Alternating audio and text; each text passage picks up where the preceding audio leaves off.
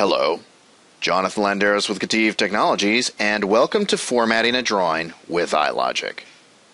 What we're going to do is we're going to take the drawing that I'm showing right here, and we're going to use iLogic to change the sheet size, title block, and border in just a few clicks instead of going through the drawing resources as I'm indicating here with my mouse and placing them one at a time. So how do I go ahead and do that? I'm going to go into my parameters and I'm going to add a text parameter named format select. I'll right click to make that a multi-value parameter and I'll enter the options for the different formats that I want. One for the A border, two for the B border, page one, and two plus because they'll have different title blocks. And likewise, I'm going to continue and do this for the C border, the D border,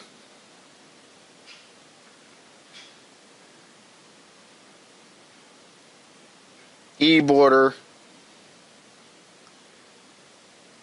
and I'm even going to go all the way up and do the F border. So I'm pretty much going to do all the ANSI borders we have available.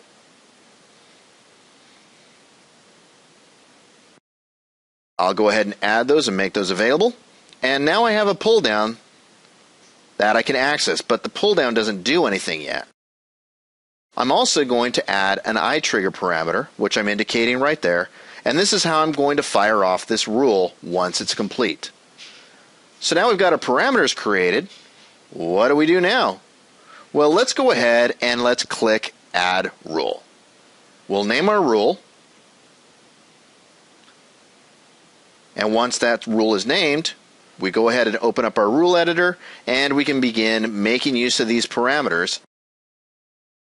First, I'll add the code for trigger. Trigger equals iTrigger 0, and that's going to fire the rule when I hit the iTrigger icon. Next, I'll go to my snippet section, and in the message box area, I'll click on input box. Then I'll fill in the blanks and basically say when I choose a value from format select, the dialog box will ask me to choose my desired format. I'll name which parameter is populating the multi-value list, which parameters are being called, give the title block a title, as well as giving the list a title.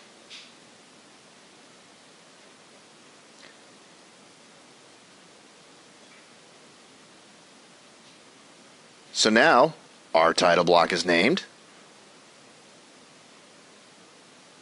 Now we'll add our statements. So I click on the shortcut and I'll say if format select, which is the variable that contains all those different uh, format sizes. If format select equals a border, then change my sheet size to an A. also change my border to an A border, which is the name that I gave this when I saved it to my drawing resources. I'll do the same thing for title block using the name that I gave to the desired title block. So in this case, small border title block. Now I'll go ahead and add an else if statement effectively saying if format select equals B border, then choose different options. So I'll go ahead and put in my new code, activate a sheet, change my sheet size, change my border and title block, but now I'll choose different options. And this will call up uh, the B-size sheet, the border I've created for my B-size border, my B-size title block, and now we're ready there.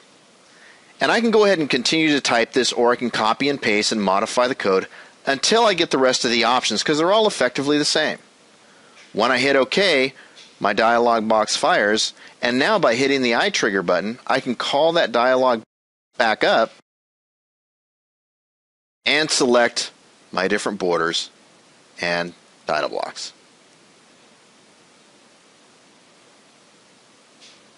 And there we are, driving a border, title block, and sheet size using iLogic. Thank you for watching, everybody.